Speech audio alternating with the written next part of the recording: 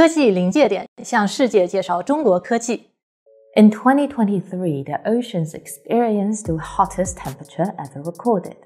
Hi, I'm Lisa, and welcome to Threshold. Today, we are going to talk about the ocean's temperature. On the 11th of January 2024, a report from an international team of 34 scientists revealed that the global average sea surface temperature in 2023 rose by about 0.23 degrees Celsius compared to 2022. This may seem like a small change, but it has a great impact on our world.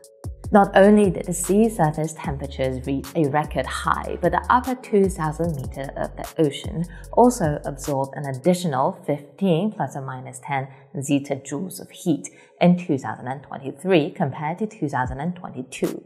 This surpasses all previously observed values for ocean heat content from 0 to 2,000 meters since 1960. To put the 15 zettajoules into perspective, it's enough energy to evaporate 2.3 billion Olympic sized swimming pools filled with water. Or it could bring Lake Baikal, the world's largest freshwater lake, to a boil. Another way to understand this is that it is equivalent to around 1.85 million 2000 kilowatt wind turbines running at full capacity for 100 years.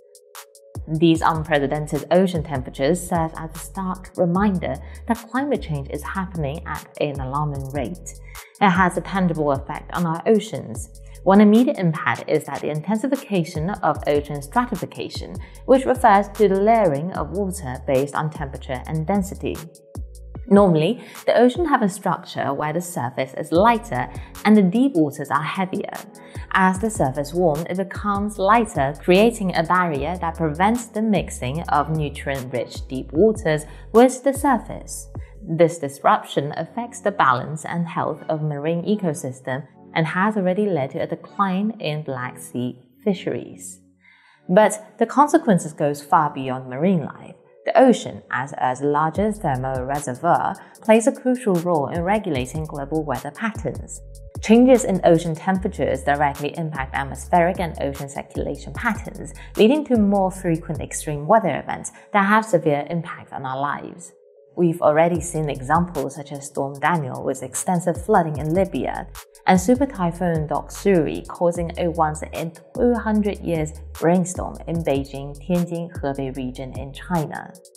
The record ocean temperatures are affecting exclusive economic zones in the ocean, for example, coastal and island tourism along the Mediterranean Economic Zone faced challenges from the hottest Mediterranean summer on record in 2023, including heat waves and wildfires. Industries in these regions are facing huge challenges. Fishing communities are also impacted, with the fishing migration pattern severely impacted due to the warming waters. Tuna stocks, for example, are now harder to find, and this jeopardizes the livelihood of generations of those who have relied on sea for centuries. And so it's not just about tourism, it is also about our food security. Additionally, hurricanes, heat wave, and other extreme weather events can damage energy infrastructure like power grids and offshore wind farms, disrupting energy production. Extreme weather events and rising sea levels can also damage transportations and logistic networks, which in turn affects the global supply chains. And so the negative impacts of ocean warming are widespread. On the 17th of November 2023, the global average temperature exceeded 2.07 degrees Celsius above pre-industrial levels, surpassing the critical 2 degrees Celsius threshold set by the Paris Agreement for the first time. The World Meteorological Organization has issued warnings emphasizing the urgent need for rapid emissions reductions to meet the 2 degrees Celsius target. Without immediate action, we are heading towards the irreversible consequences of climate change. It is easy to feel disconnected from numbers and reports, but the reality is that climate change is happening right now. And that is all for today's Threshold. As usual, we welcome your feedback and thoughts.